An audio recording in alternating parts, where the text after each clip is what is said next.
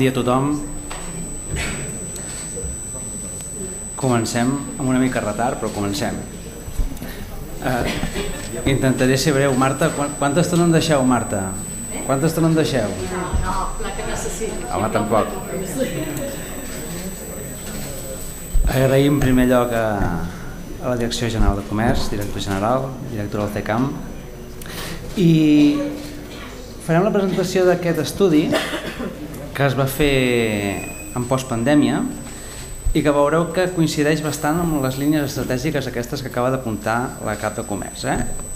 Veureu que, eh, com, bé, bé, com bé ha dit la, la directora al principi, eh, no es tracta de, de copiar tot el que fan, sinó de reflexionar, de pensar i d'adaptar, evidentment, a la nostra realitat. Eh? Perquè aquí veurem bastants casos, alguns estratosfèrics, d'altres més eh, adaptables, i el que es tracta al final és de pensar quin problema tenim i com l'hem d'atacar, que al final és la reflexió que va sortir d'aquest estudi. Aleshores, sense més dilacions, si us sembla, eh, comencem un viatge pel món. Eh, em dono uns 20 minuts per donar temps després de la taula rodona que es farà i, i aniré exposant cas rere cas i explicant una miqueta la problemàtica i l'estratègia que van seguir i el resultat que han obtingut. Dir-vos també que hem agafat mercats que puguin ser assimilables al nostre model cultural. Sí? És a dir, no hem anat a buscar casos ni tailandesos ni, sí, eh, ni asiàtics perquè potser culturalment ens queden molt, molt lluny. Hem agafat casos que eh, puguem intentar replicar. Comencem per la Gran Bretanya, i veurem aquests mercats eh, indicats aquí en el, en el mapa. Primer de tot, anem a Londres i anem a veure el Crisp Street Market. Crisp Street Market està situat a la zona est de Londres, una zona amb, amb una població amb una renda per càpita baixa, amb, amb un sistema de comerç de proximitat però eh, també amb una realitat que està desapareixent doncs, el que és el petit comerç, una mica com el que pot passar a nosaltres als nostres pobles. Eh? Eh, està desapareixent, persianes molt tancades i aquest mercat històric, eh? vull dir, de fa molt de temps, van voler-li donar una injecció de, de, de moral perquè tornés a reflotar i perquè tornés a esdevenir un motor social, sí? econòmic i social. Abans parlàvem de la, de la importància dels mercats, però eh, amb aquesta vessant també social. Què van fer aquesta gent? Aquesta gent van detectar el problema que tenien, van dir la gent no ens ve a comprar, els nostres veïns no ens venen a comprar perquè se'n van al supermercat, se'n van a les seves superfícies, volem que ens tornin a venir a comprar aquí. Com ho van fer? Van contractar una empresa, una empresa de creatius, una empresa de creatius, eh, i van dir, anem a, primer de tot, eh, hem de donar un plantejament nou, per tant, mobiliari nou, van canviar tot el mobiliari del mercat i després van dir hem de fer un pla d'actuació. Hem de fer un pla d'actuació, com el farem? I es van dir, home, anem a fer de manera original també, i en comptes d'agafar i de fer enquestes i de, sí, de preguntar a, a peu de carrer en un treball de camp, van dir, anem a fer un programa de ràdio, anem a fer un programa de ràdio en què entrevistarem tant a paradistes com a veïns, com a clients, sí, com a comerciants i a partir d'allà farem eh, un pla d'actuació, és una tècnica qualitativa bastant innovadora. A més a més, les entrevistes poden estar escoltades en directe eh, i després també en podcast. De fet, si aneu i busqueu, trobareu els podcasts, que són un seguit d'episodis, i què fan? Adapten les actuacions. Què es van donar compte aquesta gent? De que havien de fer actuacions adaptades al que vol la societat que viu allí en aquells barris. I què van fer? Doncs, per exemple, van fer eh, campionats de boxa, sí? perquè es veu que la gent els demanava sí? fer campionats de boxa. Doncs tu es poseu un campionat de boxa sí? i després també com que ètnic, cultural i ètnicament també tenen la seva particularitat, també ho van adaptar molt a la seva casuística. Dir-vos, eh, com a, a tall de curiositat, de que eh, l'empresa creativa que va fer això, evidentment, té seu a Londres, però està representada per catalans. Val? És a...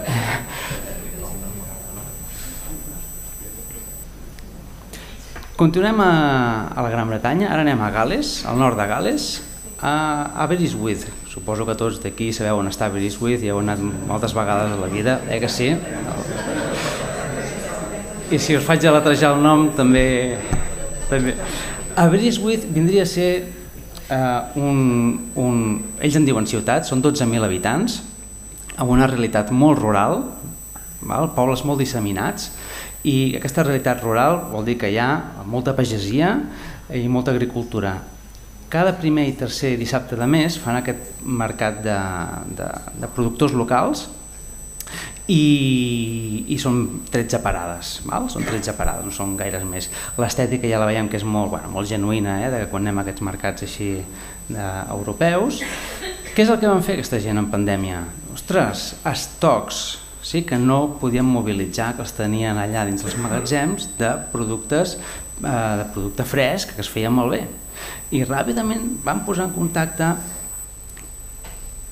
productors, ja veieu aquí, eh? gent que tenen 60-70 anys, els van posar en contacte en dir hem de, hem de treure'ns l'estoc, hem de donar servei a la nostra clientela, que també veiem, eh? quin perfil de clientela tenim, els hem de donar servei perquè ens venen a comprar nosaltres, hi ha supermercats, lògicament, eh?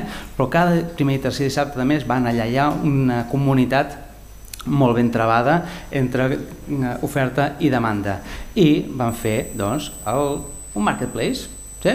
un marketplace amb un mercat no sedentari un marketplace en què tu des de casa teva pots comprar a diferents productors locals i t'ajunten la cistella de compra amb una sola i te la porten un dia a la setmana determinat. De tal manera que si vols comprar les cebes amb un productor i els raves amb un altre, ho compres en una mateixa plataforma i després t'ho porten de manera unificada a casa. A banda d'això, cada productor té la seva fitxa i allà doncs, fins i tot la, les seves xarxes socials, la seva descripció, etc. També pots posar en contacte directament amb ells. Val? Van obligar a digitalitzar, bueno, van, es van autoobligar a digitalitzar tots els productors locals que oferien servei en aquell mercat. Continuem al Regne Unit. Anem a Brixton, un barri de Londres, altra vegada, amb un mercat històric, un mercat d'aquells de, de fa anys i panys. Un mercat que també eh, estem parlant de problemàtiques i de solucions, un mercat que va anar a la baixa, a la baixa als anys 90, un mercat degradat, la gent ja no hi acudia, l'oferta cada vegada era menys, eh, es va perdre tot l'interès un mercat que, perdoneu, es fa cada dia. Cada dia es fa el mercat, cada dia. Què van fer aquesta gent? Fixeu-vos, els anglesos tenen les seves normatives i tenen la seva manera de fer, eh? són absolutament diferents a nosaltres. Però van fer un conveni amb l'Associació de Comerciants de tal manera que els van dir, Associació de Comerciants de Brixton, gestioneu vosaltres el mercat. Eh que us interessa que hi hagi impacte a la zona, impacte econòmic, doncs el gestionareu vosaltres. Gestionar vosaltres vol dir que ells fins i tot decideixen qui entra al mercat i quina plaça tindrà. Ja us dic, això aquí no pot ser. Però, a mode d'inspiració, va haver saber de què van involucrar a l'Associació de Comerciants. Van involucrar l'Associació de Comerciants i l'Associació de Comerciants va tenir una pensada, va dir, home, si hem de fer un mercat dilluns, dimarts i dimecres, no? cada dia de la setmana, anem-lo a fer de manera original. I anem a fer que cada dia sigui com una temàtica diferent. És a dir, cada dia eh, trobarem, cada dia però de manera pautada, eh? és a dir, tots els dissabtes eh, eh, temes de pastisseria i de flec, etc. Tots els divendres eh, temes de, de, um, de, de, bueno, de, ja us ho diré ara, de temes de com el mercat de la puça, val? per entendre'ns. Sí, és a dir, cada dia vam pautar eh, una temàtica, una temàtica i així també s'originava l'interès. Fixeu-vos també que vam posar part de, de branding, vam posar aquí una imatge per cada dia i direu, home, però això, això, només això, no, això no és tot. Després van agafar i, i també es van posar serios, van dir, aquí també hem de donar amplitud a les parades. L'estratègia aquesta de l'estudi que ha fet el CECAM parlava també de parades més àmplies. Fins, fins aleshores estaven totes aquí en un raconet de la vorera, per tant la façana de les parades era només la façana lineal. Van decidir, evidentment, tot molt ben pensadet, de posar les parades just al mig i guanyaven metres de façana.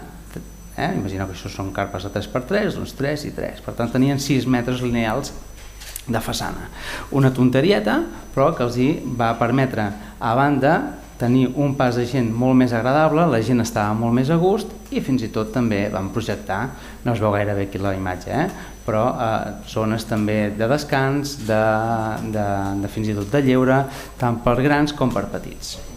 Seguim, continuem a Londres, Londres ciutat de mercats per excel·lència. Després ja veurem altres països. Eh? Uh, anem al Queen's Crescent Market. Queen's Crescent Market està uh, a tocar de Camden, mercat famós per excel·lència que tots alguna vegada potser haurem estat. Sí? Uh, a tocar, però té un model super diferent. Aquí es, es dirigeix a la gent que viu a sobre, val? és a dir, el seu client no és el turista, el seu client és la gent de proximitat. Uh, què van fer? Van veure que tenien un problema que també s'ha identificat en aquest estudi del CECAM de relleu generacional i van dir hem d'atacar aquest problema hem d'atacar aquest problema mitjançant un conveni amb l'associació de veïns, fixeu-vos, col·laboració pública o privada al 100%, van establir un programa formatiu per emprenedors que volguessin eh, iniciar doncs, una activitat allà en aquell mercat. Aquest programa d'emprenedors consistia, consisteix en uns cursos eh, amb uns cursos d'una durada determinada que a l'acabar et permetien doncs, de eh, tenir evidentment el teu espai eh, el teu espai bonificat durant cert temps també per tenir una miqueta també d'impuls els primers eh, mesos i després també un acompanyament és a dir, no et fan la formació i et deixen de banda, sinó que durant X temps estan uns mentors i doncs, t'ajuden doncs, això a, a consolidar el negoci. A banda, eh, com que bé us he dit, està a la zona de Camden, a la zona de Camden aquests mercats estan tots agrupats i han fet un butlletí de notícies però que no, aquest butlletí de notícies no es dirigeix al públic, es dirigeix a les parades, es dirigeix a l'oferta. I aquest butlletí de notícies és molt interessant perquè a banda de què passa periòdicament indicadors de quanta gent passeja per la zona, sí? de quins dies són els més visitats, etc. Per tant, ja introduïm aquí un aspecte d'indicadors, un aspecte molt tècnic que s'ha de saber interpretar, però que si el sabem interpretar pot ser molt efectiu. Després també hi ha una petita, un petit apartat de eh, venda d'articles de, de, de segona mà, però no de productes, sinó de doncs imagineu-vos, eh, d'una carpa, que jo no vull fer servir, te la venga tu, que també ets un altre operador, o, o, o, o d'un penjarrobes, també, sí, hi ha un, un, un, allà un mercat, eh, no cal mirar-lo gaire perquè és un mercat negre, val? però de productes de segona mà que serveixen per, eh, per, doncs, per després per tenir una millor parada. Val? Aquest butlletí de notícies, insisteixo, el reben tots i cadascun dels paradistes, fins i tot estan informats de les altes i de les baixes que ha vingut fulanito i ha posat una parada, que menganito l'ha tancat perquè no li va bé, sí? Per tant, tenen informació eh, constant. Ara marxem de país i anem als Països Baixos, sí? anem a Holanda. Anem a Holanda i aquest és un mercat també molt famós, aquest és un mercat turístic, aquest és un mercat que si algú ha anat mai a Amsterdam també potser l'haurà visitat, eh? l'Albert Kuit Market. Aquest mercat eh, està en un barri, no està molt cèntric, tot i que Amsterdam és de mides bastant assequibles, diguéssim que està, bueno, entre moltes cometes, a les afores. Un barri on antigament hi vivia també una, una població amb una renda per càpita baixa, etc. El mercat es va, va haver un impuls no, perquè fos turístic i allò va eh, causar una gentrificació, és a dir, que la gent que vivia va ser expulsada en detriment de que va arribar un nou tipus de població, més professionals liberals, una renda per càpita més elevada, etc.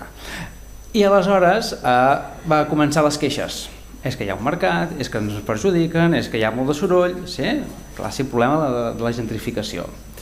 Uh, què va pensar en aquest cas l'Ajuntament d'Amsterdam? Va pensar, primer, necessitem aquí solucionar aquest problema, eh? insisteixo, problemes, estratègia i resultats, i van pensar en la següent fórmula. Van dir, mira, aquí tenim un mercat que ens està funcionant superbé, Sí? Per tant, està donant ocupació. Hi ha un teixit econòmic al voltant, sí? hi ha tot un seguit d'establiments, però que a partir de les 5 de la tarda, eh, quan tanca el mercat, ja no, ja no hi ha activitat, sí? perquè el turisme se'n va i aleshores el, el barri cau. Vau, cau vol dir que es torna fosc, que home, inseguretat tampoc, però que, que bueno, hi ha un contrast molt elevat. I les botigues que continuen obertes doncs, també noten aquell, aquell impacte. Després, eh, tots els problemes amb, amb el veïnat. I què decideixen fer? Doncs decideixen constituir una, que nosaltres diríem una peu, sí? fan com una peu, eh, que el, es gestiona de la següent manera.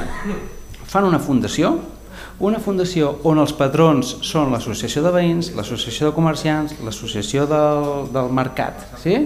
i en què qui vol entrar al mercat ha de passar per aquesta fundació. Per tant, obligatòriament haurà de pagar una quota a la fundació i, lògicament, les taxes corresponents a l'Ajuntament, també. Sí? L'Ajuntament gestiona la neteja, l'Ajuntament gestiona la seguretat i la fundació el que fa és que es deu, aquí és l'apartat important, es deu al mercat però també a tot el teixit comercial que hi ha a la zona. Val? Per tant, és un motor clarament i l'identifiquen com a tal. Entre Aquí també hi ha molta literatura al respecte, eh? però per fer-ho més visual, una de les actuacions que fan és que, fixeu-vos, eh? aquesta és la web del mercat i aquí com promocionen el teixit comercial que hi ha al voltant. Sí? És a dir, és el mercat qui promociona el teixit comercial i no la inversa, que moltes vegades mm, sempre ho enfoquem des d'altre punt de vista. Anem un moment a França. Nissa, també, ciutat turística per excel·lència. Eh? Aquests dos mercats que explico ara són molt turístics, però també té la seva idiosincràsia. La idiosincràsia és que també això és un render, això és, això és un projecte, un avantprojecte de, bueno, de, de, del mercat que, que a hores d'ara ja deu ser, sí? i quina problemàtica tenien aquí? Molts turistes i els comerciants, bueno, els comerciants, eh, els paradistes no acabaven d'estar del tot contents, perquè, home, molt de turisme, però aquí qui compra pomes, qui compra peres, sí? Han dit, no ens ve la gent local, analitzen el funcionament del mercat i decideixen de fer parades més grans, més atractives, sí? més atractives, amb una imatge molt més persuasiva, de tal manera que el públic local tindrà més amplada i tindrà unes sensacions agradables de consum, per tant també ho treballen molt d'aquesta manera. Val? Són renders, no feu cas, eh? vull dir que són, són simulacions, però això era un projecte que ja l'han dut a terme. Aquest cas, aquest cas a mi m'agrada especialment, perquè és allò que dius, amb, amb, amb molta imaginació pots eh, tenir molts resultats, i és una problemàtica que també s'ha detectat aquí en l'estudi. Lyon. Lyon, a principis dels 2000 fan una urbanísticament un, tot un eixample, és a dir, fan una zona nova eh, residencial amb habitatges i van a viure moltes famílies, famílies amb nens, famílies amb nens que treballen, sí? famílies amb nens que treballen. Una zona que la veus i dius, home, urbanísticament té un punt de fredor, perquè no deixen de ser pisos, sí? i volen revitalitzar tot el que seria aquesta plaça. Què decideixen? Decideixen el següent, de fer un mercat, mercat en aquest cas de pagesos, en horari de tarda. En horari de tarda. Val? És a dir, és una innovació que a vegades es pot plantejar dir, doncs anem a fer un mercat en horari de tarda. Sí? I direu, ah, molt bé, no? molt ben pensat. Ha funcionat? La resposta és no, no ha funcionat. bé, parcialment, parcialment. M'explico, però no per l'horari de tarda, no ha funcionat perquè van proposar de fer alimentació, alimentació ecològica, sí?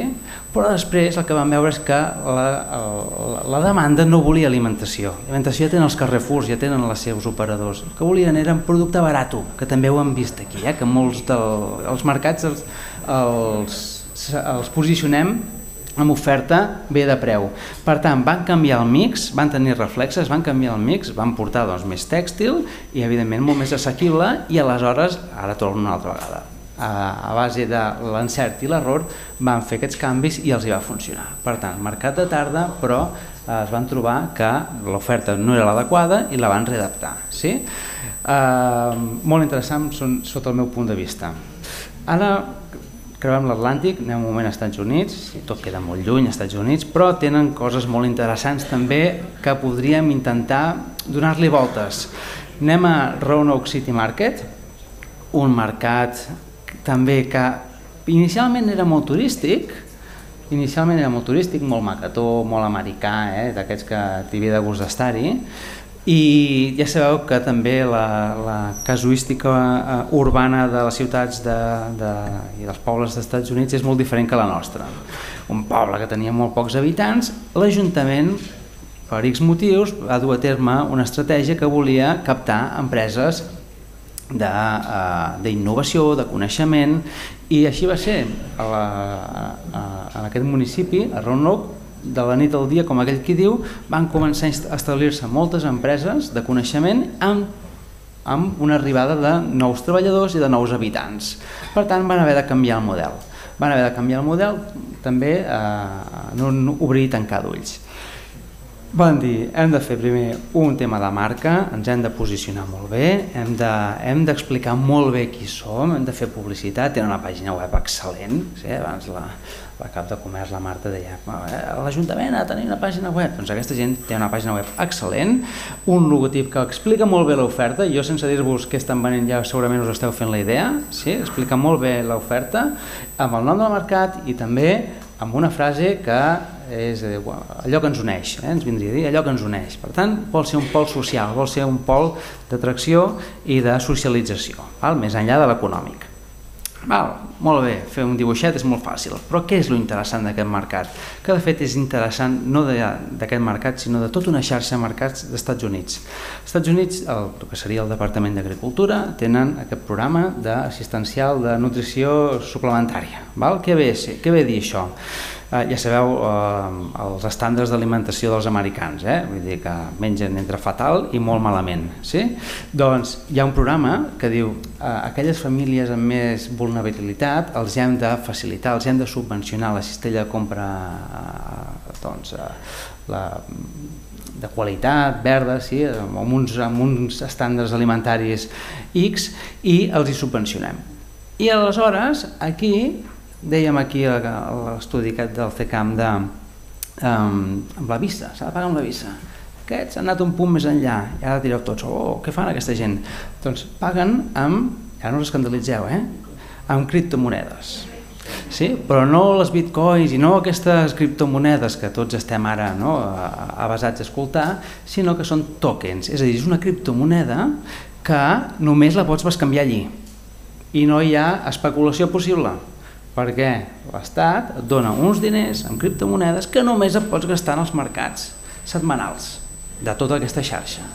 Per tant, qui rep aquestes criptomonedes? Doncs un col·lectiu molt vulnerable, no tothom, i te les pots gastar allí només en aquells mercats.